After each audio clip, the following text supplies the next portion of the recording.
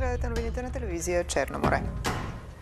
Във Варна официално започна финалният етап от регатата Толшипс. Ветроходните кораби бяха посрещнати тържествено пред стотици варненци.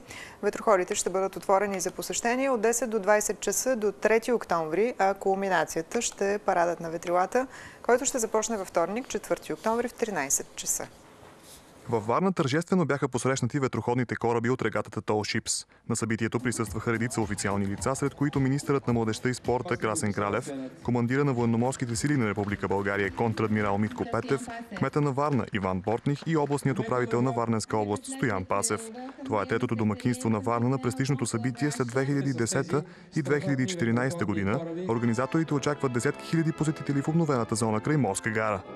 На събитието през 2014, доколкото знам, е имало над 300 хиляди посещения и се надяваме тази година да, са, да надминеме тази цифра. Още повече, че общината се е постарала да превърне пространството в, в, в пристанищната зона едно прекрасно място за такива събития за развлечение на варненци. Минути преди официалното откриване акустира и гигантът Крузен Штерн, който събра на едно място стотици гости, които го посрещнаха на Варненския бряг. Според прогнозните резултати от гонката от Сочи до Варна в клас А, на първо място е Мир, след това Надежда, а третия е българският представител Калиакра. В приветственото си слово кмета на Варна Иван Портних каза, че за него е чест морската ни столица да е домакин на такова красиво събитие и благодари на всички организатори и доброволци. Убеден съм, че в следващите дни всички варненци и гостите на морската столица се радват на прекрасните съпътстващи събития около регатата. Ветроходите ще бъдат отворени за посещение от 10 до 20 часа до 3 октомври, а кулминацията ще е парадът на ветрилата, който ще започне във вторник 4 октомври в 13 часа.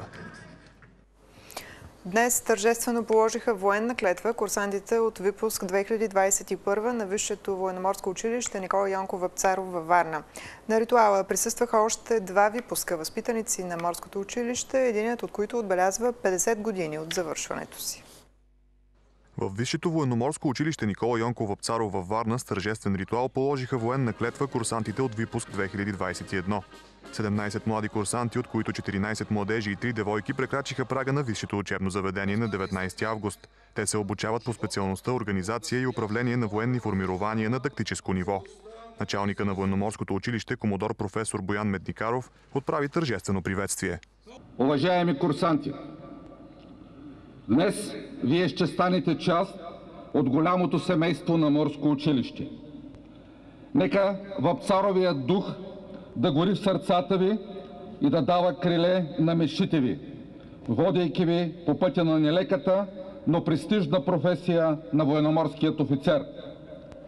Бъдете сигурни, че знанията и уменията, които ще получите при нас, ще открият вашият път към успеха нелекото поприще на обречените на морето. Курсантите са от София, Варна, Плевен, Шумен, Добрич и Пазарджик. Те положиха военна клетва и поединично минаха под знамената. На ритуала присъстваха още два випуска възпитаници на морското училище, единият от които отбелязва 50 години от завършването си с 50 годишнина от полагане на военна клетва. Меглена Кунева беше преизбрана с пълно мнозинство за председател на Движение България на гражданите при гласуването на Националното събрание на партията във Варна. Вижте.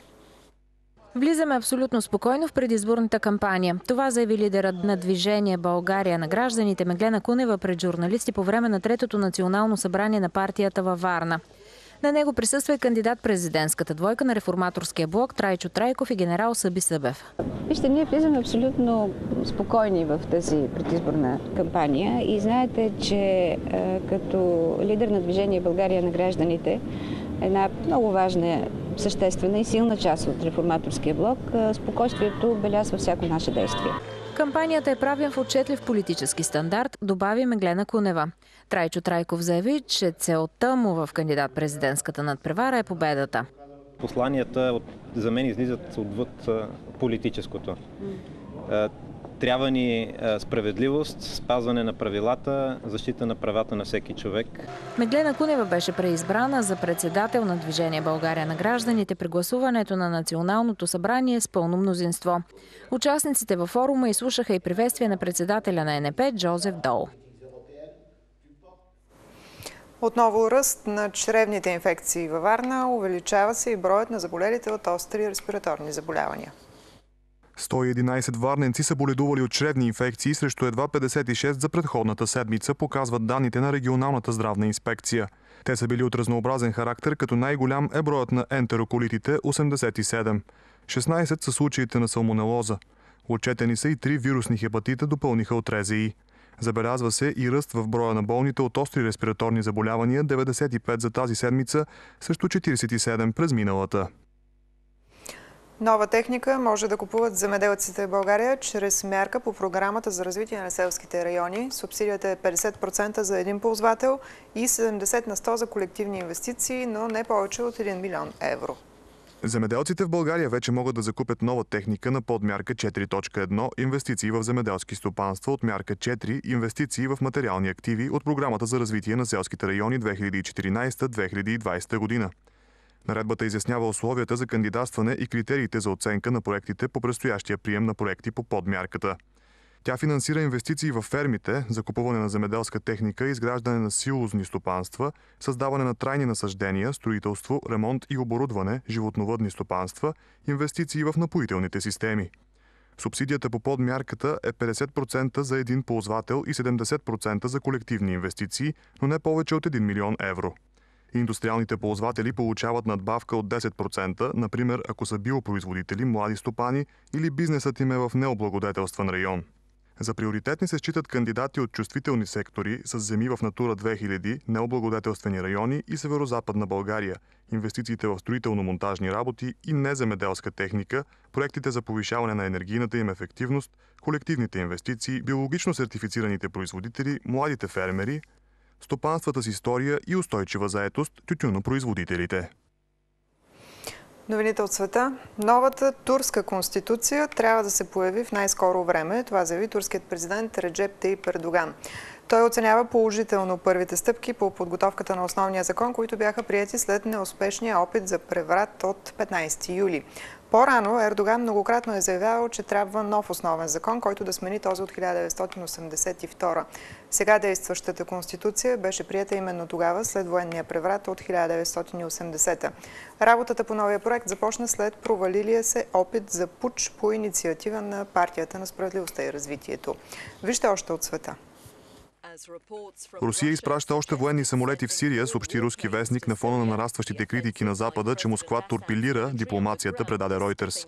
В изявление, разпространено след телефонен разговор между американският президент Барак Обама и германският канцлер Ангела Меркел, се казва, че бомбардировките на руските и сирийските военно-въздушни сили в Алепо са варварство.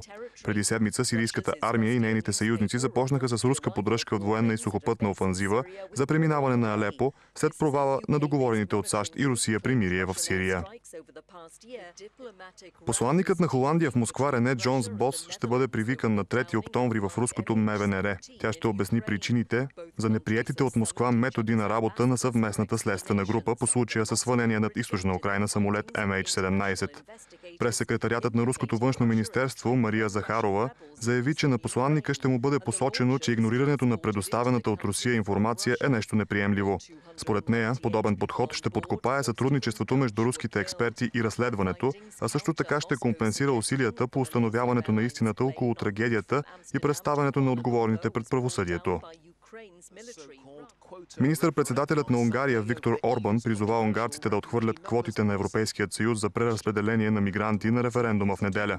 Той използва страха на екстремистски нападения като инструмент за насърчаването на гласоподавателите да се включат в референдума, който не е сигурно дали ще достигне необходимата избирателна активност, за да бъде валиден, предаде Ройтерс.